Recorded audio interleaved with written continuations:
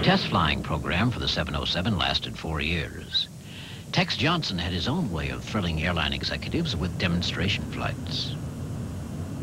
IATA, the uh, International Air Transport Association, which includes all the airlines of the world, had assembled in Seattle for their annual convention.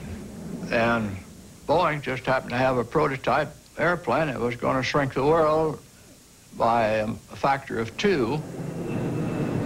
But I've sold fighters and commercial airplanes, and you demonstrate them to impress people what they're capable of. And I knew the prototype, and there's one maneuver that you can do with no hazard whatsoever. I decided that I would do a roll to impress the people. So I came across and did a, a chandelle.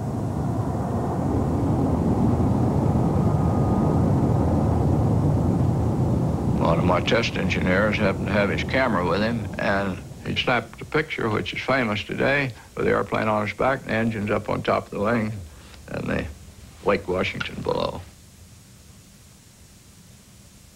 I was called to Mr. Allen's office uh, Monday morning, and Mr. Allen asked me what I thought I was doing. And I said I was selling airplanes.